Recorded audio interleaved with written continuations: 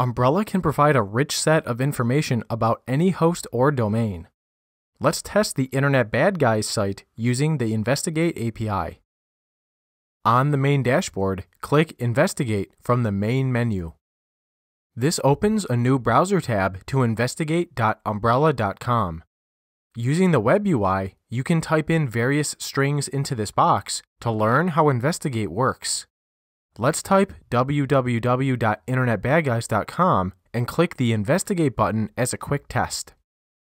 We won't scrub the data here, but there is a ton of information returned. This site is clearly malicious, but we want to collect these details using the API. To begin, click Investigate API Access on the left. My account doesn't have any access tokens yet, so click Create New Token. Give the token a name, and I'll use InvDemo for Investigate Demo. Click Create once you're satisfied. Now we have an access token for authentication, and I'll copy that into my clipboard. Let's head to the dev box to review some Python code. The last SDK to review is named Cisco Umbrella Investigate.py, so let's dive in. As always, let's import the Cisco Endpoint base class, then inherit from it when building the Cisco Umbrella Investigate class, giving us access to the core logic common to all endpoint security products. We'll pass in the API key to the constructor which behaves a bit differently than the other constructors we've explored so far. We'll first call super and pass in the generic base URL, and then we'll update the headers dictionary by adding a new authorization key. The value will be the string of bearer followed by the API key. The final headers dictionary looks like this, keeping in mind the base class already set the accept header to application JSON. The general rec function takes in a resource string and variable keyword arguments, but doesn't do anything fancy. Unlike all the other endpoint security APIs, there is no query parameter merging logic or explicit HTTP basic auth parameter inclusion. The baserec method already passes in the headers attribute, which we updated in the constructor. Therefore, let's just call the baserec method passing in the resource and keyword arguments, and returning the HTTP body data if it exists. Last, much like the enforcement API, there is only one environment variable being consumed. We'll load in the value for that variable, unpack it, and pass it into the Cisco Umbrella Investigate constructor to instantiate a new object. Next, let's explore the investigateDomain.py script. This script is kind of like the ThreatGrid sample submission script because it writes detailed output files to disk in JSON format. To do that, we'll need to import both the OS and JSON libraries. This script takes in one CLI argument that indicates the entity to investigate, so the sys module is needed. Let's also import the SDK class we just reviewed.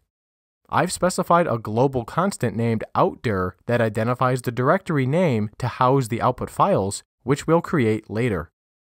The main function takes in a site to check, but the word site is oversimplified. Investigate can check domains, host names, URLs, BGP AS numbers, and more depending on the specific request.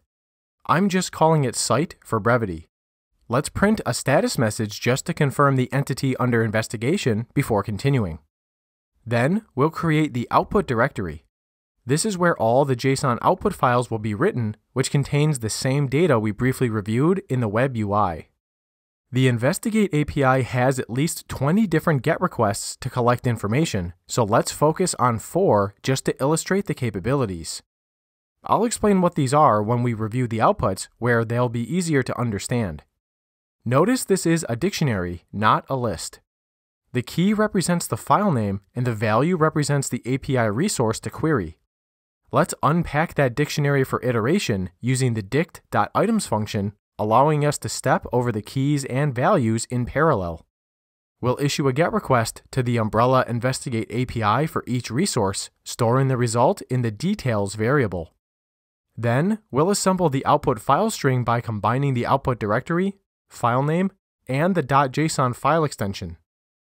At this point, we have the HTTP response data and out file, so let's open a handle to that file for writing. We'll dump in the JSON data, then print a status message indicating that the file was just written. We should see four of these status messages, one for each resource we collected. As we've seen many times, let's ensure there are at least two command line arguments, and if not, we'll print usage instructions and exit. Otherwise, let's extract the first argument and pass it into the main function, which represents the entity to investigate. We can run the script using the Python command shown, then supplying the site to check. Let's use the known malicious site of www.internetbadguys.com. The line wrap makes it hard to see, but there are four lines of output, one for each batch of data stored. We also see a fifth line at the top to confirm the hostname that we just investigated. Let's confirm the files were created inside of the domain details directory. As expected, the script created four new files. I'll open all four at once so we can quickly review their contents. First, we have the categorization file.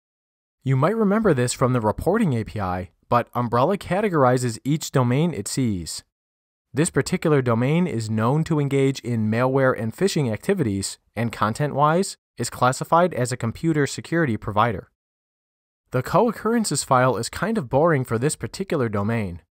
According to Umbrella's documentation, a co-occurrence is when two domain names are visited within rapid succession of each other. This can reveal interconnections across domains being looked up by the same client. This particular site did not exhibit any co-occurrences, which is generally a good thing. Next, we have the core DNS details. At the top, we see the resource record to which the hostname is mapped. Moving down, we can see even more details to include information about the DNS time to live and location information. For example, this website is hosted from one location at the coordinates shown. These are probably bogus, as this particular location is in the dead center of the continental US, a little bit west of Wichita, Kansas, in the middle of a lake.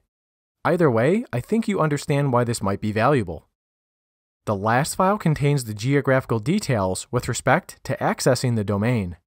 This file is more than 600 lines long, but let's quickly skim the geodiversity list. This contains a list of countries using two-letter codes with a measurement of how frequently this site is visited around the world. Roughly 81.5% of the traffic comes from the US, with just under 6% coming from Canada. Again, I think you get the idea, as this provides a rough overview of worldwide traffic trends for a given entity. Maybe you'd want to graph this information in a security telemetry collection station for future analysis. I'd encourage you to explore the other Umbrella Investigate API requests and their responses so you can perform your own threat hunting based on your business needs.